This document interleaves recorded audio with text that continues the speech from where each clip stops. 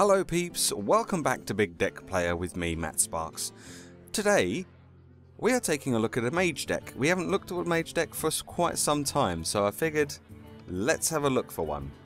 I've managed to find one. As usual, I found it on hearthpwn.com.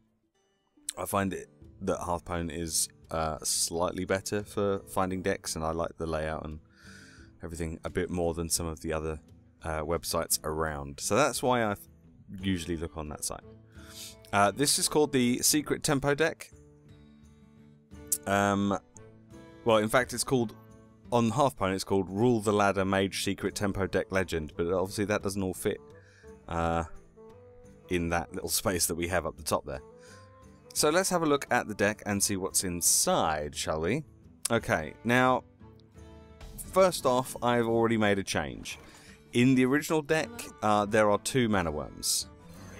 Um, and uh, yeah, I, I've took them out because I was lacking, or I felt like I was lacking some card draw. Um, so I've replaced the uh, the two Mana Wyrms. Uh, I've replaced it one with a loot hoarder, and I've also put in an Ironbeak Owl for a, a silence. Just because silence is almost 100% necessary. There is only one silence in this deck, and that is the Ironbeak Owl.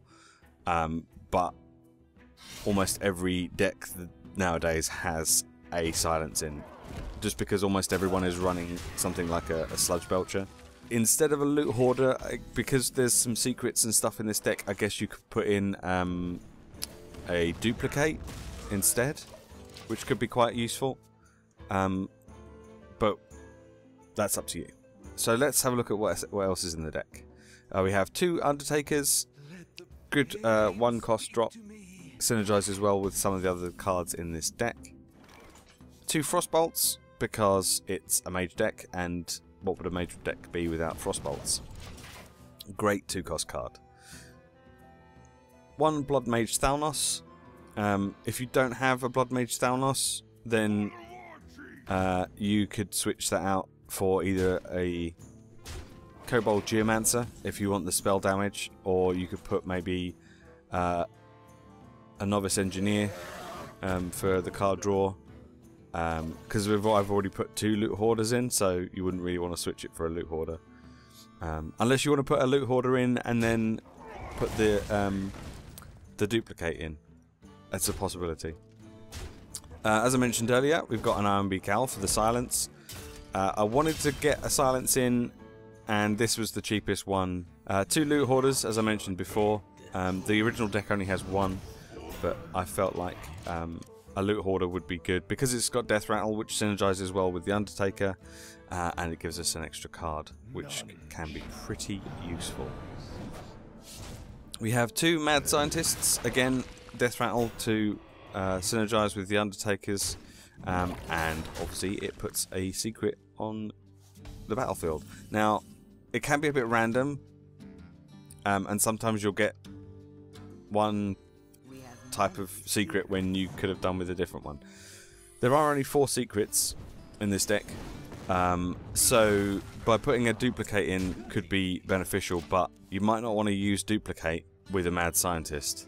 That's the only downside, because if you get if your mad scientist dies and you get duplicate, then you may end up duplicating something that you don't really want duplicated. I think it would be more beneficial to use duplicate slightly later in the game for 5, 6, 7, 8 cost creatures rather than getting more Undertakers out, especially late game. Most of your Death Rattle minions are in the, the sort of first half of this deck, so late game Undertakers aren't going to be that effective.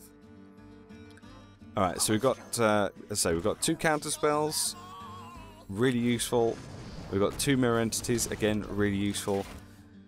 Can change the tide of the game. Mad Scientist is great because it synergizes well with the Undertaker, but you don't necessarily get the ones that you want. You might find that you want to keep your mirror entities for later in the game, for when your opponent's putting out big creatures, so you can get a big creature for yourself. Um, but um, it can also be a nice way to build momentum at the beginning of the game. So I prefer having Mirror Entity sort of mid to late game and use my counter spells at the beginning. Although counter spelling Mind Control uh, yesterday was glorious. So yeah, so again, this is the this is the problem with Mad Scientist that I have is that although it's great because it synergizes well with the Undertaker, you don't necessarily get the exact one that you want. Two Kirin Tor Mage, which again is for secrets. This is probably a better use of putting secrets out. Obviously, you've only got uh, you got two of these and two mad scientists, so technically all of your secrets could be free, then could cost you nothing, which is fantastic.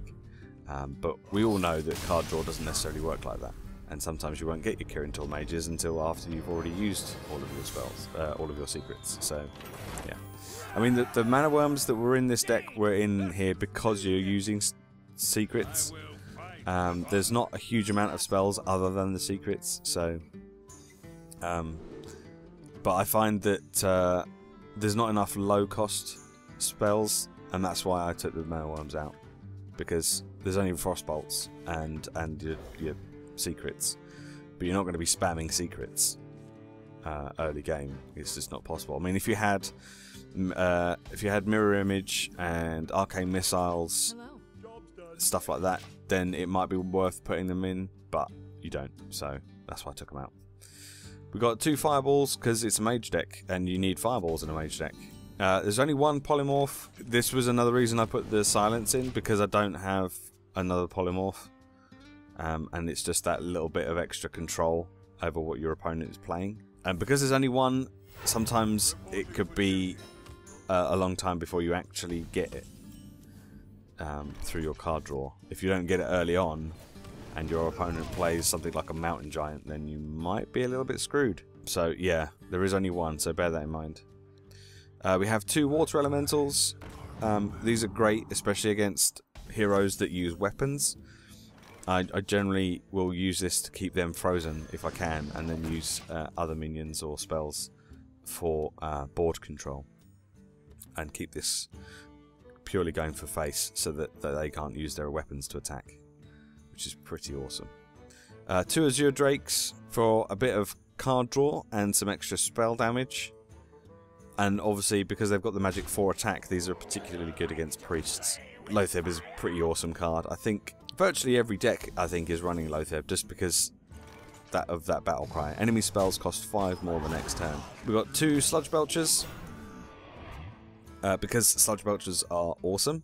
Um, this is, if I was going to run a duplicate, I think I'd probably run it around the same time that I'm playing a Sludge Belcher. Because they're a real pain in the bum to get rid of if you don't have a Silence or a Black Knight.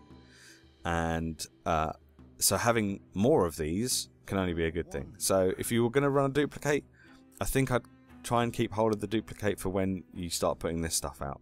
Or, or even Loatheb, for that matter.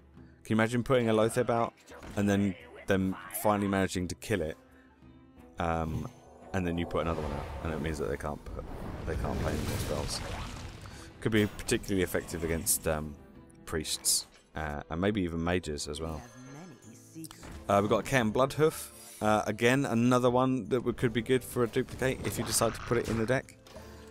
Um, it's a fairly strong card anyway. It trades really, really well.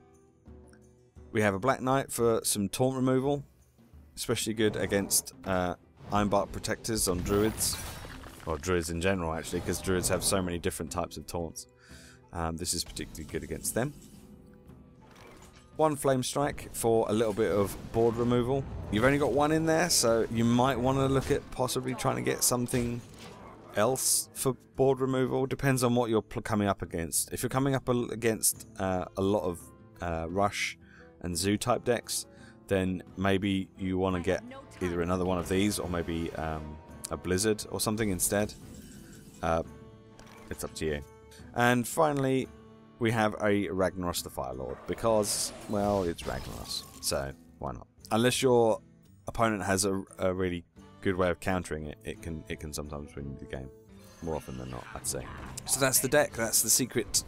That's the rule, the ladder, mage secret tempo deck legend.